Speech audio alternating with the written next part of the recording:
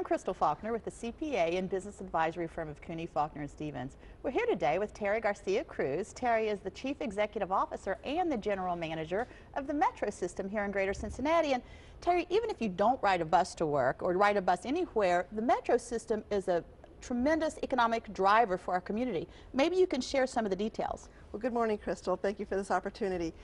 Metro is critical to the economic development of our community. We are the link to employment, uh, particularly if you don't use uh, transportation. Uh, you might be uh, needing that service from an individual who is using transportation. In talking to many community leaders, transportation definitely is a priority to get their workers to work.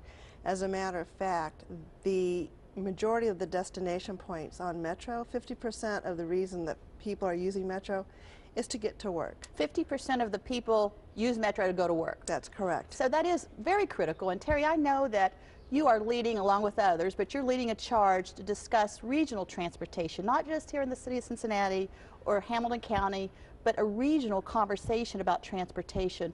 Why is that important to our community?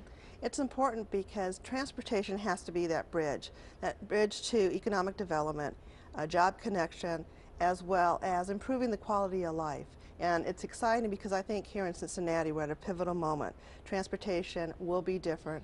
We're on a, a new forward direction. We're working with OKI, the Chamber, uh, Roxanne Qualls, and other elected officials in moving transportation forward in a positive direction. And you've got a few new initiatives on the horizon. Maybe you can quickly give those details.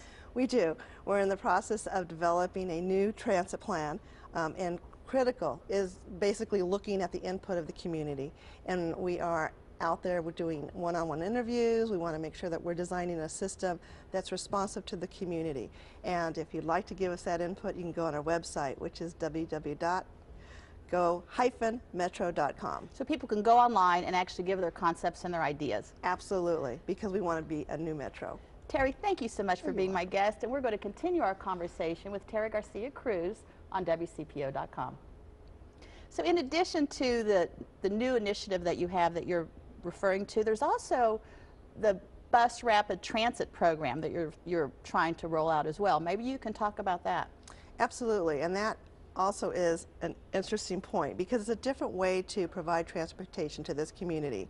It will be faster, it will be more convenient, we will have better passenger amenities at various stops. It's going to be a more upgraded service. Um, and we will look at major corridors, we're working with the Chamber, OKI, uh, as I mentioned earlier, Vice Mayor Qualls, and moving this initiative forward as well as the Transportation Department within the city. So is the idea that people would actually get in their cars and drive to a spot get on board a, a bus, and then that bus would have access to get these people where they need to go faster? That's one aspect, and that's what you're referring to as a park and ride lot. Mm -hmm. And we will have park and ride lots, but we will also have strategic locations where individuals can board at a passenger amenity with real-time information, so you know when that bus is arriving. And if you can grab that cup of coffee because you know in 10 minutes the bus will be there, you can have 10 minutes to grab that cup of coffee. And Terry, I know recently you and others at Metro eh, recognized several of your employees in terms of their appreciation for them and, and some of the work that they're doing to, again, make the Metro system much more service oriented. Mm -hmm. Maybe you can talk about that. Oh, absolutely. And that's an exciting part of what we do and recognizing individuals who do an outstanding job. Transit is a service industry and uh, basically the employees are the ones that are making Metro. Um, and when someone does an outstanding job, it's really critical to recognize them for that effort. And, you know, many people do use the Metro. S some people have never used the Metro. What would you say to someone who's never ridden the bus and would like to experience it, would like to see how it could really help them? Mm -hmm. Certainly with gas prices where they are today, I would think a lot more people are considering riding the bus. Right. Is it is it convenient for people? I mean, how do they know how to even get started on how to get the bus? It's, it's very easy. Um, all you have to do is go on our website. We have actual trip planning, so you can do your point A to point B destination trip planning. We also have um, customer service reps on our phone lines that can assist as well.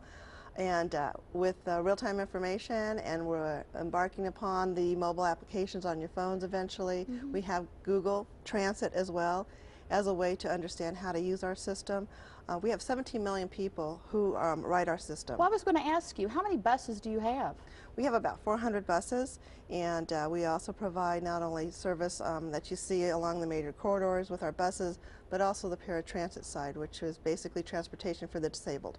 And when the subway gets built, is that something that's going to be underneath the metro system as well? The streetcar will be an area That's what I meant, the streetcar. the streetcar ultimately will be operated by uh, by us as well.